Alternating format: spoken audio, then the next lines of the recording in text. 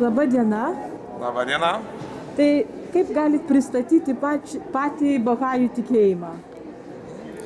Bahajų tikėjimas yra pati jauniausia nepriklausoma savarankiška pasaulinė religija, kurios tikslas yra žmonijos vienybė ir taipogi ir religijos vienybė.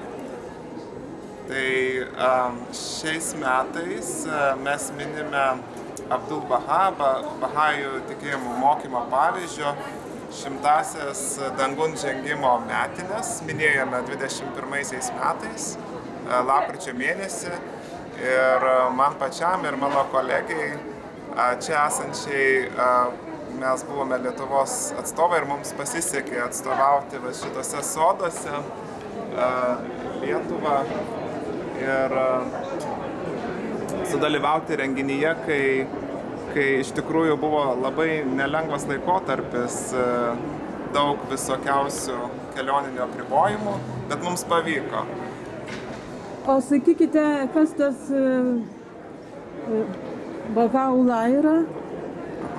Bahaula reiškia Dievo šlovė. Ir jis yra Dievo preiškimas. Per jį atėjo na, nauja dieviškoji žinia. Ir kartu atnaujinta dieviškoji žinia, kuri ateina per visus pranašus. O įvykis koks toks ryškiausias pastarųjų metų Bahajų gyvenime?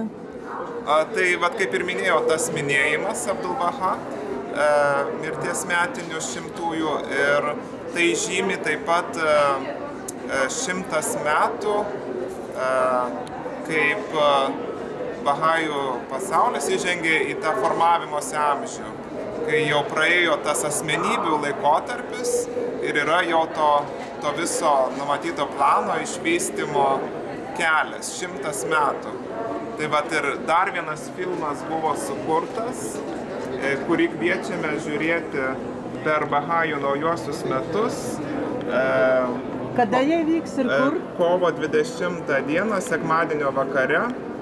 Iš pradžių pats filmas kino salėje ir tada pereisime į šventinę dalį 18.30 Bahajų centre. Pasakykite dar adresą. Gedimino prospektas 24A ir būtas 43. Ir kuriuos metus švesite? 179-osius pasitiks. Kodėl tiek nedaug? Todėl, kad jauniausia pasaulinė religija. O kokie pagrindiniai Bahajų tikėjimo yra tikslai? Tikslai, tikslai yra žmonijos vienybė, pasaulinė taika, visuotinis švietimas, vyrų ir moterų lygybė ir kiti. O iš Rasinė lygybė, vienovė. kilo? Iš kokios šalies, iš kokios teritorijos šis tikėjimas kilo, kaip jis yra paplitęs? E, Pats e, apreiškėjas e, Bahaula, jis gimė Persijoje, Persijos imperijoje nuometinėje. Tačiau, kaip ir visi dieviški apsireiškimai, jie kentėjo priespaudą karalių ir buvo tremiami. Ir taip nutiko, kad jie atsidūrė šitame viduržėmio jūros šitoje viduržemio jūros pakrantėje, kur yra miestai dviniai Haifa, bet kur matote, ir kitas miestas šiauriau Aka. Akas. Ir tai dabartinė yra Izraelio teritorija, anuomet tai buvo Palestina. Tai, tai vat ši, šitoje vietovėje yra e, pasaulinis Bahajų centras. O kitose e, pasaulio dalyse yra panašių šventyklų kaip čia? Aha, taip, jeigu kalbant apie šventiklas, vat matote čia visą rinkinį e, šventyklų kontinentinių, žemyninių e, e, šventyklų. Ir jau esame tokiame etape, kai statomas ir nacionalinės, ir vietinės. Ir jos, na, jau ne tik statomos, bet jau kai kurios ir veikia. Ir yra atidarytos. Tai bet praeitais metais buvo E, Štai čia yra Afrikos kontinentinė Ugandoje, Kampaloje.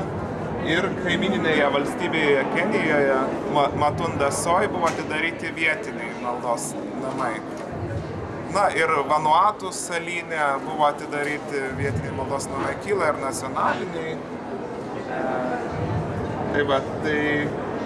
Ar galėtumėt tai trumpai parodyti, iš kokios šalies? Aha. Taip, tai vat, mu, mes esame Europoje, tai Europos kontinentiniai maldos namai yra prie Frankfurto, Vokietijoje. Šičia patys naujausi e, kontinentiniai e, maldos namai Čilėje, e, Santiagė, čia dieninis vaizdas, čia naktinis, čia yra Panama, Centrinė Amerika, čia yra Šiaurės Amerika prie Čikagos, Vilmetėje, čia yra Australijos kontinento ir čia yra polink, e, Ramijo vandenino salų to viso regiono vakarų Samoa. O čia didžiausia kaip ir nuotrauka tai lotoso žiedo dar vadinama šventikla Indijoje, Azijos kontinentui. O aš norėčiau paklausti, kas galėtų tapti Bahajumi, ar yra kažkokie apribojimai? Na, Abdul Bahai yra pasakęs, kad e, Bahajas yra tas, kuris myli visą žmoniją. Na, Bahajs tai reiškia Bahaula sekėjas. Tai jis seka Bahaula mokymais, na, tiki tuo ir stengiasi tos mokymus įgyvendinti. Tai apribojimo kažkokių, na nežinau, nėra turbūt.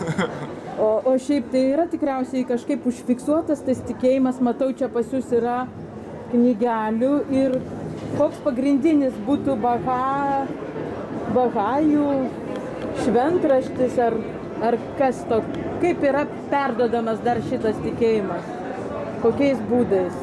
Na, raštų yra tiek daug, kad, kad jie renkami į rinkinius ir jos galima skaityti um, Vat, pavyzdžiui, šita knyga naudoja Bahai dažniausiai kasdieniam skaitimui ryte ir vakare.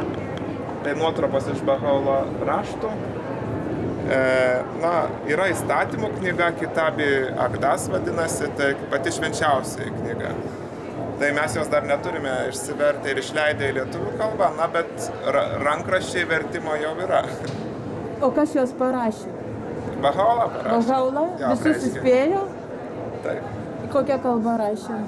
Uh, rašė pagrindę dviem kalbom. Na, rašė galbūt toks žodis apreiškė. Apreiškė. Jis rašė ir pats savo ranką, ir jo sekretoriai rašė tai, kas lėjosi jam per apreiškimą. Tai, tai tos apreiškimo kalbos buvo arabų ir persų. Na, dar kažką Abdul Baha yra ir turkiškai dar rašęs keletą lentelių. O jis turėjo kažkokių tai jo tikėjimo perdavėjų? Ar jis viską suspėjo pats? E, Bahaula paliko po savęs kaip sandoros centrą e, savo sūnų vyriausiai Abdul Baha. Ir e, tai reiškia, kad tikėjimas nesi, nesiskaldys, nes yra sandoros centras Abdul Baha, Bahajų tikėjimo mokymų pavyzdys ir ir interpretatorius tų mokymų, kurios paskelbė Bahaola. Ir po Abdul Baha mirties buvo Šogė Efendi, Abdul Baha anūkas. E, ir jis turi, na, jis kaip ir buvo atsakingas už tą tikėjimo vystimąsi visame pasaulyje. Ir taip susiklosti, kad jam nepalikus jokių palikonių, atėjo laikas įgyvendinti tą misiją kad bus išrinkti visuotiniai teisingumo rūmai. Tai yra renkama institucija, aukščiausia tikėjimo institucija, kai baigėsi tas laikotarpis, kai buvo kažkokia asmenybė kaip tikėjimo vadovas, o dabar e, tai yra institucija, kuri numatyta Bahaula raštuose. Tai nėra, kad Bahai patys nusprendė, kad čia taip reikėtų, bet e, tai tiesiog buvo numatyta ir tiesiog atėjo tas laikas. Tai 1963 metais jie buvo išrinkti pirmąjį kartą, tai šita institucija, vat, na kaip pažiūrėsi, kai kam gali atrodyti, kad seniai, o kai kam gal dar visai neseniai išrinkta. O aš norėčiau paklausti, o ką jums Bahajų tikėjimas davė? Na, tai tiesiog toks kelias yra, kuriuo man natūralu eiti. Ir kodėl jūs norėtumėt pakviesti kitus į šį tikėjimą? Nu, bet jums reikėtų pasakyti, kodėl jūs vat, galėtumėt juo, tuo keliu eiti, pasirinkti tą kelią. Kuo jis patrauklus, nes tikėjimų yra nemažai. Taip, bet tai tiesiog, na, grįž, grįžtame prie to, ko, ko moko Dievo apsireiškimai ir klausome savo mokytojų. Ką, ką moko Kristus, ką moko Mohamedas, ką moko Bahaula. Ir tiesiog dabar šis mokytojas atėjęs ir, ir mes turime na, pasistengti įgyvendinti jo mokymus. Ir tada bus tie rezultatai, kurių reikia pasauliui. Na, šiandien tokia liūdna yra žinia. Jūs tikriausiai žinot ir, kad e, vyksta bombardavimai Ukrainoje. Kaip e, šitam tikėjimą yra suprantamas karas ir taika? Na taip, karas tai turbūt suvokia daugelis, ar ne, kad jis atneša tik tai kančias ir visi stengiasi jo išvengti. Na ne visi, kai kas jį sukelia, ar ne, tarkim, bet, bet e, tiek ankstyvajame tikėjimo laikotarpyje, tiek, tiek dabar visą laiką buvo įvairiausių perversmų, įvairiausių uh, skilimų, karų. Reikia įsivaizduoti, kad uh, kad ir pirmasis ir antrasis pasauliniai karai buvo ir buvo kai kurios bendruomenės ir sunaikintos ir, um, ir reikėjo joms atsikurti iš naujo. Tai, um, tai Bahai yra skatinami kurti tą teisingesnį pasaulį, kurti tą teisingumą ir ne, ne, nesirinkti kažkokių e, nu, pusių, nesivelti į konfliktus. O jeigu tokie konfliktai vyksta ir atsiranda pasaulinis agresorius, kaip jie turi kažkokį nors patarimą, kaip tą agresorių sutramdyti ar neturi? Na, Bahaula buvo parašęs savo laiku, kai jis keliau, na, buvo tremiamas per įvairius miestus Adrianopolyje, šiandien tai yra europiniai daly Turkijos, ar ne, toks miestas, jis parašė to meto lyderiams, imperatoriams laiškus kviečiant, kviečiančius taikai. Ir aišku, imperatoriams tai buvo kaip jokingas laiškas atmestas, bet tos imperijos ir žlugo. Vienintelė, kuri neutraliai sureagavo, tai buvo e, karalienė Viktorija, Junktinės karalystės. Tai va ši, ši imperija dar išliko. Dabar gal jūs prisistatykite? Esu Raimundas, Bahai bendruomenės narys. Tai labai ačiū.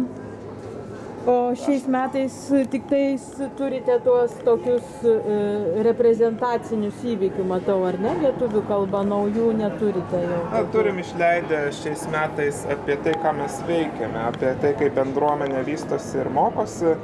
Tai, tai ta kursų sistema pristatyta viename leidinyje, kaip, kaip susipažįstama su Bahajų tikėjimu, kaip pritaikyti tos mokymus. Tai vad pirmoji knyga kai mes apmastome apie dvasios gyvenimą. Antra, kai pakylame tarnauti, kai jau suprantame e, tas, pirm, nu, bent jau pirmasias dvasinės tiesas, ar ne? Kaip mokome vaikus, va trečioji knyga, penktoji yra kaip mokome paauglius, ketvirta labiau į istorinį aspektą e, susitelkę. Tai va kviečiame ir į šios kursus. E, tai va. Tai labai labai ačiū. Tikimės, kad kažkas tai susidomės ir papildys jūsų gretas. Didžiausias sėkmės. Manau, kad užsukate. Dėkui.